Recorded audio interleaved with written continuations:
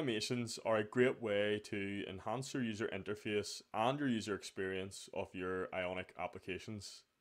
There's so many ways that we can implement animations into our apps. We could even use Ionic's own animation builder and utilities. However, today I want to show you a really simple and easy to use CSS animation library, which enables us to create really slick looking animations using class names. The CSS library is called animate.css. It comes with lots of different pre-built animation types that we can implement just with a class name. So as always, I am using a little base app that is available on the Ionic React Hub. I'll put the link in the description. If you want to check that out, you can download the code and play about with this app as well. So first of all, the installation is really easy. The documentation goes through all of that. I'll link that as well. You just npm or yarn install the library and then import the CSS file. Or you can just import it via a link tag. But let me show you one of the screens on this app. So this is like a shop app and if I click one of these products it shows me a modal with the product information so I'm going to add a little animation to this card that's on this modal here. And I'm going to make this uh, card slide up the way as the modal opens. So on the product modal file here, I'm going to find the row that holds this whole thing. So in here, I'm just going to add class name, class name equals, and then with the animate.css library, in order to animate a certain element, it expects to see an animate underscore underscore animated class name first of all. So we'll add that in. So two underscores and then animated. And then the next class name that you provide is going to be the type of animation that you want to display.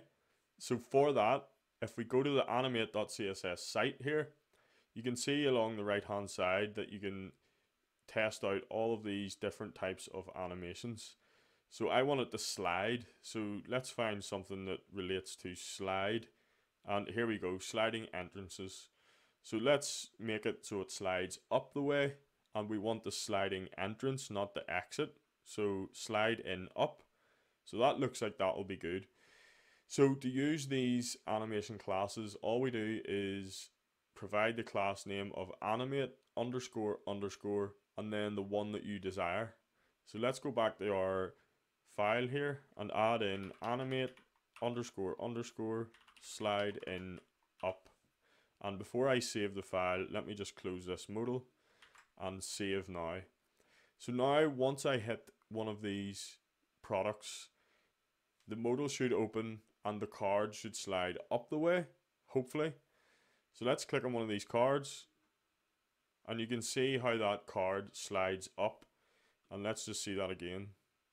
This looks good but in my opinion I think the card is too slow.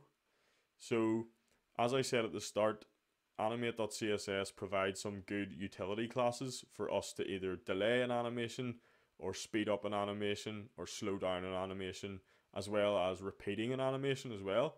So in this case I'm going to try and use the faster animation class here. So we always start with animate underscore underscore. And then I'm just going to provide the faster class. And this will just make the animation happen twice as fast as the original speed. So now if I click on this card, you can see that you can still sort of witness that animation happening as the modal opens but it's more in sync with the speed of the modal opening. And I think that looks absolutely great.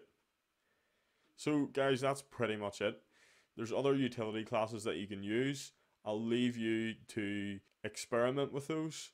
I'm going to leave the link to the documentation in the description.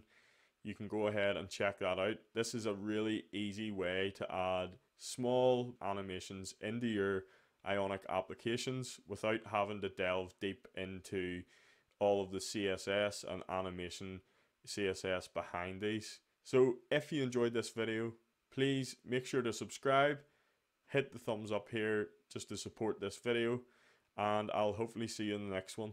Thanks.